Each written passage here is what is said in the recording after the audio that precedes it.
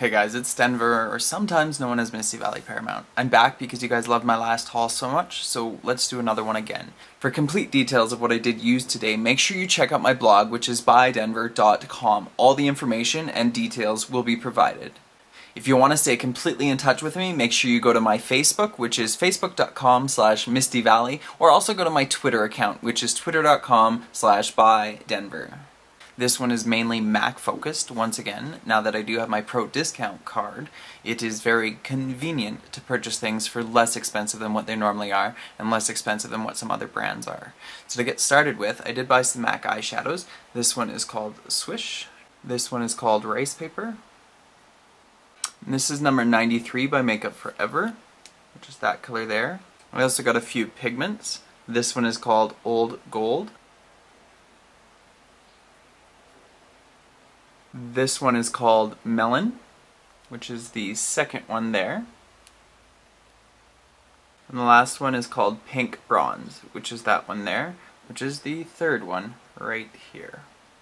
I also got five mineralized eyeshadows. This one is called Blue Sheen with pinks of blue and pink and black, and it looks like that. This one is called Dark Indulgence, which looks like that. This one is called Smoked Ruby, which looks like that. This one is called Faux Gold, which looks like that. And the last one is called Quartz Fusion, which looks like that there. Out of the five mineralized eyeshadows that I did buy, Quartz Fusion, this one here, is very much like Forgery. It is very coarse and very gritty. It may not be the best to constantly sweep over the eye. It may be something that you just pack on. That way you get to true to life color just like it is in here. From Makeup Forever, I got a couple of their new liquid liners that they have. I got black, or what is number 1-3, and I'll show you what that one looks like. Now the only downside to this applicator is it's very hard. So when you're putting it around the eye, it is very not delicate and is not good for sensitive eyes. Also when the product gets into the eye, it actually burns. Maybe it's just me, maybe I just have sensitive eyes, I don't know. From the same eyeliners, I got number 5. This is the bright blue that is in the actual image from Sephora on Makeup Forever, and that is that color there for you. Same thing with the brush, it's identical to the one for the black. I did actually get a pencil from Makeup Forever as well. This is what it looks like here. I love it. It's very metallic. It's a darker blue, and this is number 15L. Part of MAC's new collection, I did get this, which is semi-precious crystal pink. It actually, show you the different colors, it has a champagne color around the outside and then a pinkish bronze with a little bit of silver on the inside. And just to show you what that all looks like together, there's just that there. This is a champagne color, which I absolutely love, and this is just the inside. I also got two Studio Fix foundations. One is NC15, one is NC50. Four brushes.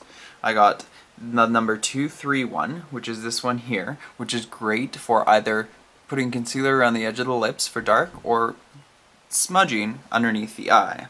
I also got an all-over eyeshadow brush, and this is actually number 235. Half of it is synthetic, half of it is natural hair. So it's great to put a highlighter underneath your brow or to put an all-over color on your lid. The two brushes that I'm going to demo my foundation with include MAC's number 130, which is this one here. It is the shortest dual fiber stippling brush that they have. And also I got the number 109, which is this one here, which is perfect for either applying your contour and blending it out or anything else that you may use as a powdered foundation brush, it is perfect as well.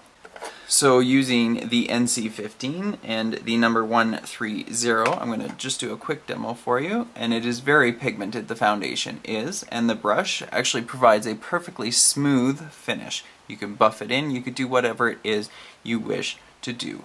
Using NC50 with the 109, I'm going to lightly put that in, and more so on the edge of the brush. And I'm going to pull this down here. Once again, you can see how rich in color the foundation is itself, and the brush is perfect. The perfect size to fit over here, either on the corner, and then to help buff it out.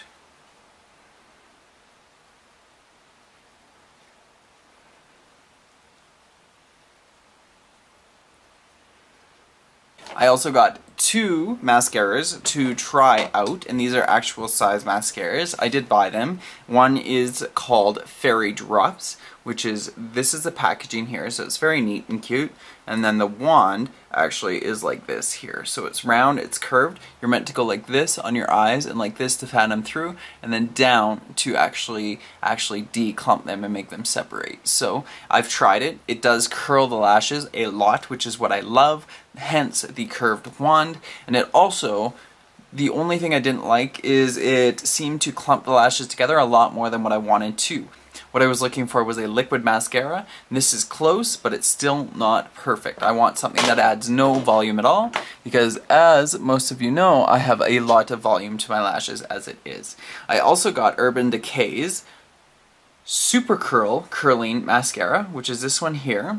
And once again, the same reason. This one is a little bit thinner of a formula and does not cause the lashes to curl as much.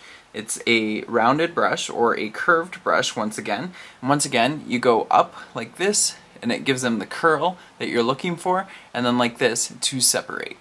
Anyways, I hope you guys enjoyed that haul and until my next videos, I hope you all have amazing days. Bye.